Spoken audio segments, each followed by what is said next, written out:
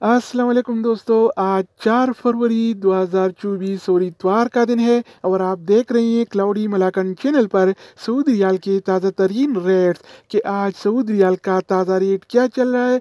या अगर आप अपनी रियाल को बजरिया बैंक अपने मुल्क को इरसाल करना चाहेंगे तो सऊदी अरब के मुख्तलिफ़ बैंक आपको एक रियाल का क्या रेट देगा?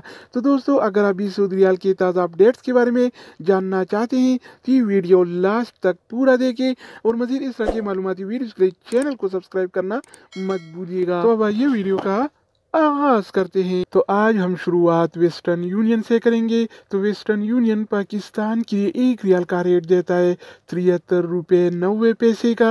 इंडिया के लिए इक्कीस रुपये छिहत्तर पैसे। बांग्लादेश के लिए अट्ठाईस टका नब्बे पैसे। और नेपाल के लिए रेट देता है पैंतीस रुपये सोलह पैसे अगर का। बात हो जाए इस टी सी पे का तो इस टी सी पे पाकिस्तान के लिए एक रियाल का रेट देता है तिहत्तर रुपये चौवन पैसे का। का इंडिया के लिए इक्कीस रुपये सतासठ पैसे, बांग्लादेश के लिए अट्ठाईस टका छिहत्तर पैसे और नेपाल के लिए रेट देता है पैंतीस रुपये सात इसके अलावा हम बात करने वाले हैं अलराजी बैंक के बारे में। तो अलराजी बैंक पाकिस्तान के एक रियाल का रेट देता है चौहत्तर रुपये चार पैसे का इंडिया के लिए इक्कीस रुपये छियासी पैसे बांग्लादेश के लिए तीस टका पैंसठ पैसे और नेपाल के लिए रेट देता है पैंतीस रुपये सोलह पैसे अगर का। हम बात करें इन सी बी क्विक पे के बारे में तो इन सी बी क्विक पे पाकिस्तान के लिए एक रियल का रेट देता है तिहत्तर रुपये बासठ पैसे का इंडिया के लिए इक्कीस रुपये बहत्तर पैसे बांग्लादेश के लिए उनतीस टका चौरासी पैसे और नेपाल के लिए रेट देता है चौंतीस रुपये बानवे पैसे इसके अलावा बारी आती है इंजाज बैंक का। तो इंजाज बैंक पाकिस्तान के लिए आज एक रियल का रेट देता है चौहत्तर रुपये सात पैसे का। इंडिया के लिए इक्कीस रुपये सतासी पैसे बांग्लादेश के लिए तीस टका इकसठ पैसे और नेपाल के लिए एक रियल का रेट देता है पैंतीस रुपये अट्ठारह तो दोस्तों इसके अलावा हम बात करने वाले हैं यूर पे ऐप के बारे में कि वो क्या रेट दे रहा है। तो यूर पे पाकिस्तान के लिए एक रियाल का रेट देता है तिहत्तर रुपये तिरयालीस पैसे का।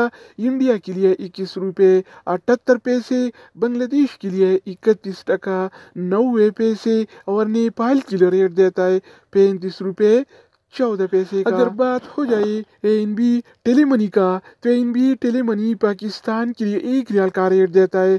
तिहत्तर रुपये इक्कीस पैसे का, इंडिया के लिए इक्कीस रुपये छिहत्तर पैसे, बांग्लादेश के लिए तीस टका बानवे पैसे और नेपाल के लिए रेट देता है।